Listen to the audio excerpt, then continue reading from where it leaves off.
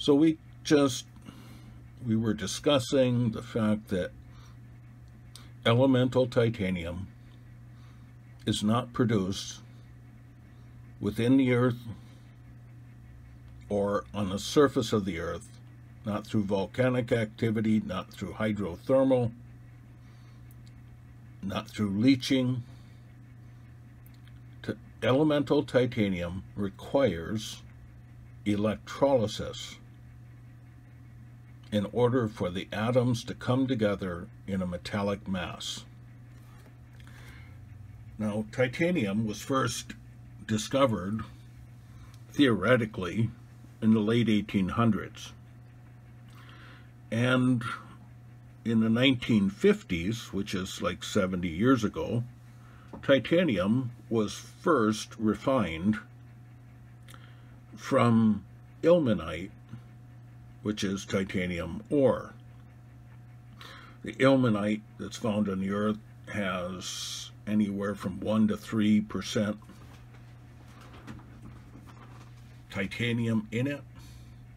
When it's melted in a giant vat and an electrode is is applied, is dropped into the vat,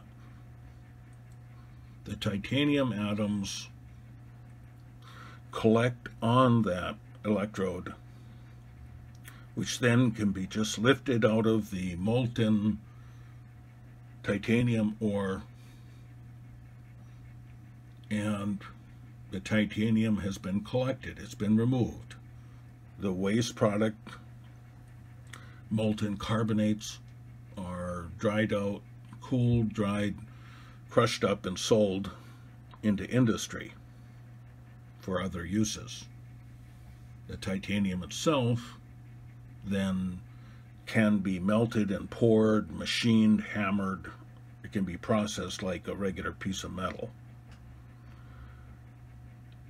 But there is no other process on the earth for elemental titanium to be created.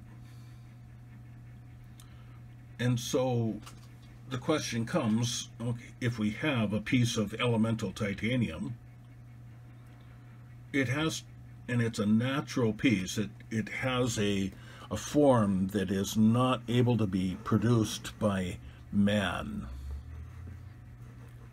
then where did it come from?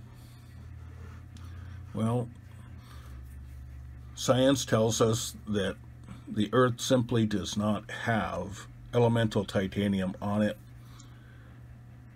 in a natural state. It just doesn't exist.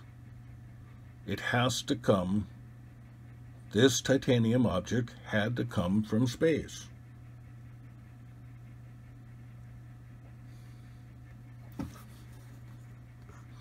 It's not an opinion, it's just a fact. It had to come from someplace, and since it since it cannot come from the earth, space is the only option left.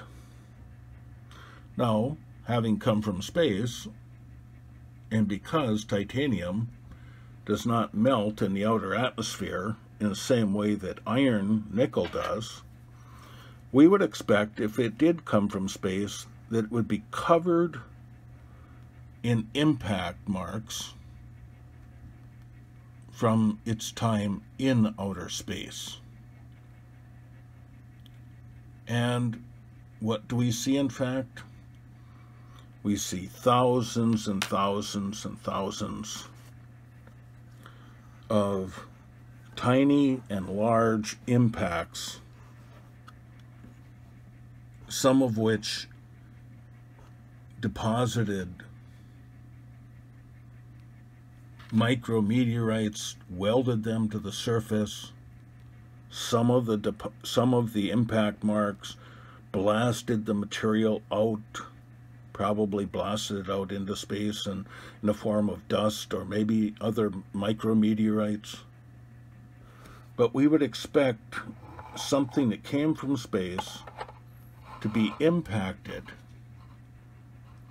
by the fast moving meteorites and asteroids and particles in space. That's exactly what we see. And because titanium is not affected by atmospheric ablation, we would expect the outside sharpness and the impact marks, the scratch marks, the the all of the evidence of having been struck so many times, we would expect that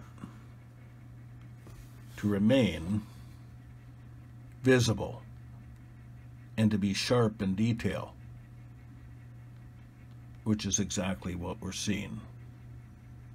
So theoretically, if a titanium meteorite existed, this is what it should look like. This is consistent with that look. Now, the question comes, is there is there other evidence here that that we're looking at an object that actually came through our atmosphere? I mean, we see the embedded particles, but let's say let's say that man had some method of of of launching these particles at high speed and was able to get them to weld into the surface. Okay, let's assume that man could do that, though man I don't think man's that clever.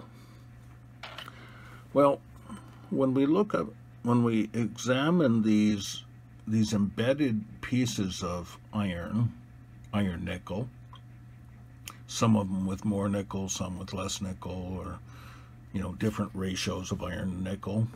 When we look at those, we see that, and it's not easy to see here, but I'll show some photos, and under the digital microscope, we actually can see that the iron that is visible on the surface of this meteorite, the iron particles, have fusion crust.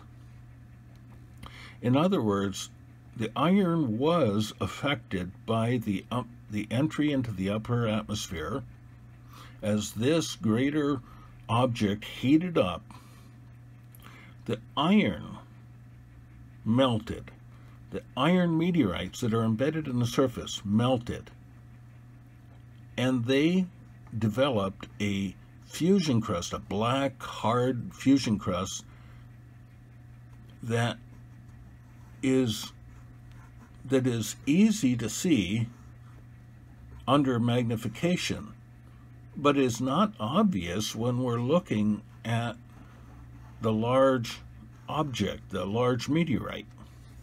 When we look at the large meteorite, we expect to see we expect to see fusion crust covering every aspect of it, except where the fusion crust has been flaked off or worn off. But we shouldn't expect that, because titanium does not form fusion crust.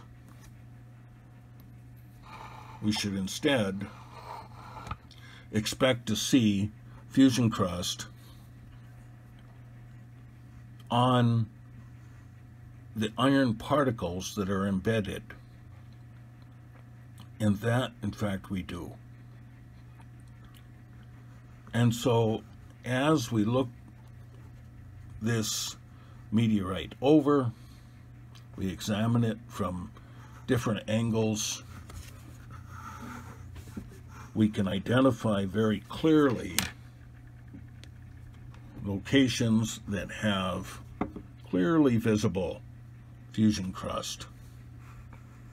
Easily visible fusion crust that is formed on the surface of iron that is embedded, is welded into place from high-speed impact.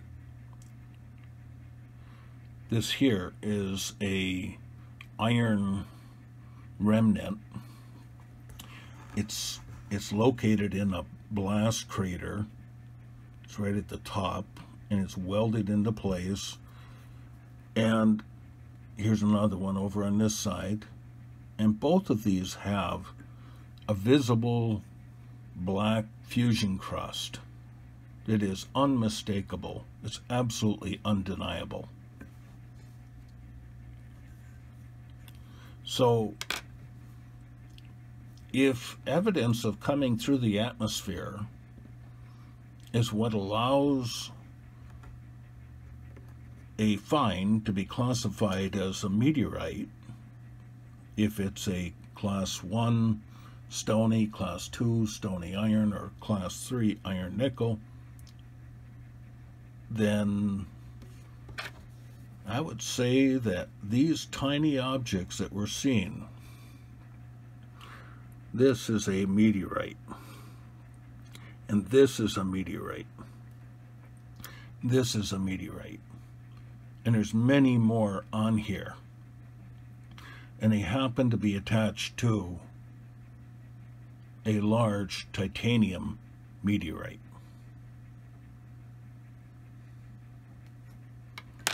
Thank you for watching. We'll continue.